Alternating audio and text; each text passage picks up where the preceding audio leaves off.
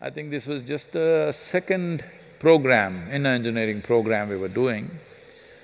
Uh, there was a lady who was involved in all kinds of, uh, you know, whatever, certain type of work from Caribbean islands. She went on doing something with her pencil in the book. You know we have a problem with people taking down notes. I said, no, you cannot take notes, just be with me. She will be looking at me, not even looking at the book, just looking at me and just doing this with her pencil.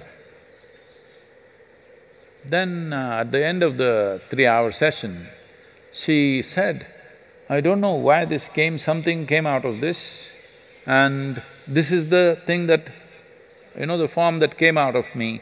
I didn't know what happened. As I was looking at you, I was trying to sketch you, but this is what I got. It's a clear proportion of the Dhyana Linga.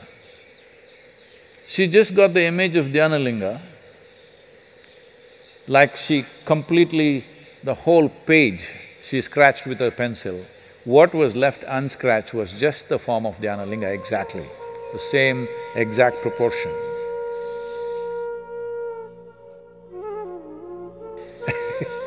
but she was trying to make a picture of me.